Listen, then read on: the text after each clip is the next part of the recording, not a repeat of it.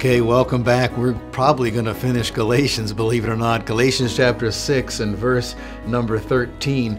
Uh, this is where we finished off last time. Paul said, For those who are circumcised do not even keep the law themselves, but they desire to have you circumcised so that they may boast in your flesh. Isn't this a silly thing? You think about it. These guys were so, you know, gung ho about getting as many people circumcised because that was like, you know, they could chalk one up for, for, for their team.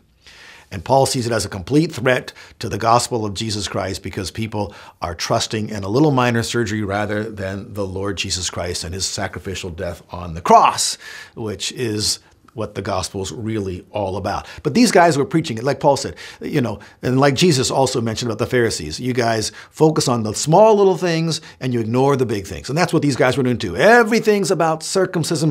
If we get to circumcise, bingo, everything's okay now. But they're not even keeping the law themselves because there were 600 and some odd laws in the law of Moses, and there was some that were a lot more important and a lot more weighty than the minor surgery that uh, is prescribed through circumcision.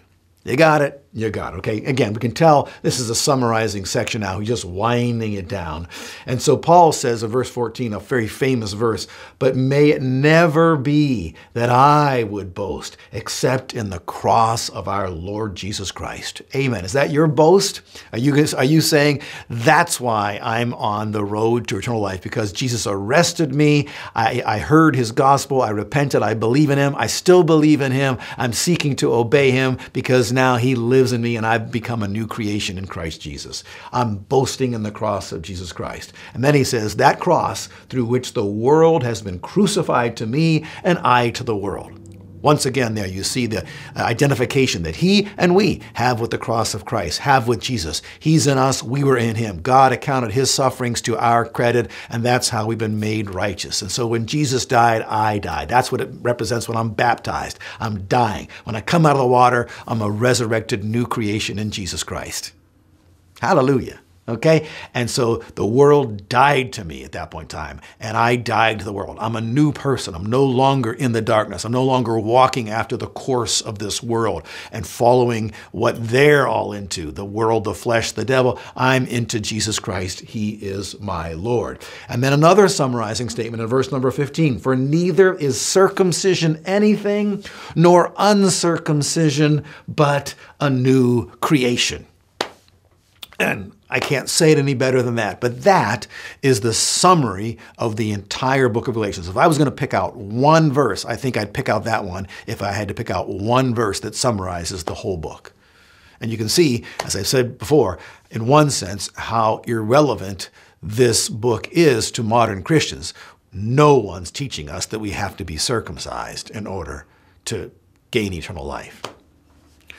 But when people take that message and say, well, it's the same thing when, when someone says you, you can't commit adultery and have eternal life, and you can't uh, lie or steal or, or, many other things that Scripture forbids us from doing and get eternal life. Uh, when, they, when they make that the equivalent of what Paul's saying, that's a complete misrepresentation of the truth. Because Paul himself, the man who wrote this, also wrote that those who follow after the flesh will not inherit eternal life.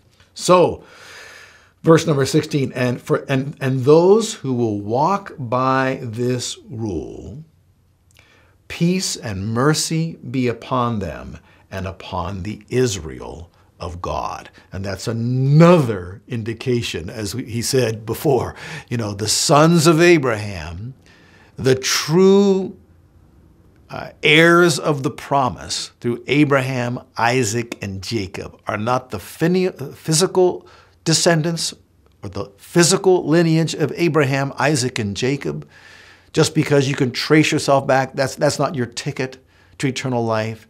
It's those who have believed in Christ and have gotten into Christ, and therefore, he who was the seed of Abraham, they're a part of that seed of Abraham, and they are heirs according to the promise, and they are, as he said, the, the Israel of God. We are truly the heirs of the promise.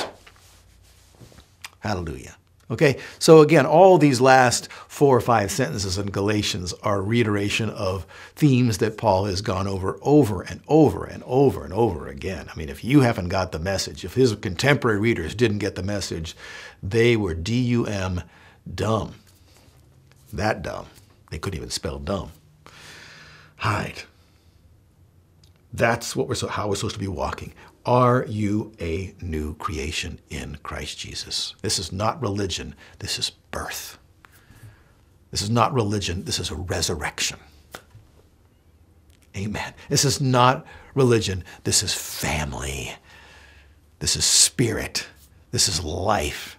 This is eternal life. You know, this is great. And, and you just feel so sorry for people that back in that day who believed that circumcision was a ticket, and people today who think something similar like, well, I joined the church when I was 12 and I'm on the rolls. Or I built a, you know, a wing onto that church or that hospital, so surely God will credit all that for me. Or, or I was baptized. You know, all these things that people say, but they have no relationship. They're not new creations in Christ Jesus. I love this, this, these final two verses of Galatians. Paul writes in verse number 17, From now on, let no one cause trouble for me, for I bear on my body the brand marks of Jesus. That is, I've suffered for this message, and I can show you the scars. Remember, when I was with you guys, they stoned me and left me for dead. I can still show you the scars, the marks on my body from that, and many other things. I've been, I've received from the Jews 39 lashes one time, he writes the Corinthians, five times. This guy has scars across his back for preaching the gospel of Jesus Christ repent and believe in him.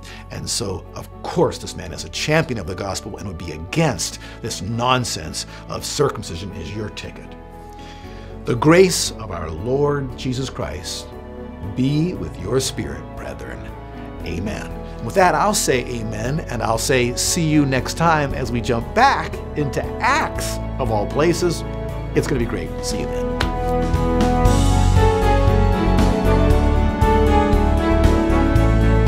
HeavenWord 7 is made possible by the financial support of viewers like you. Thank you.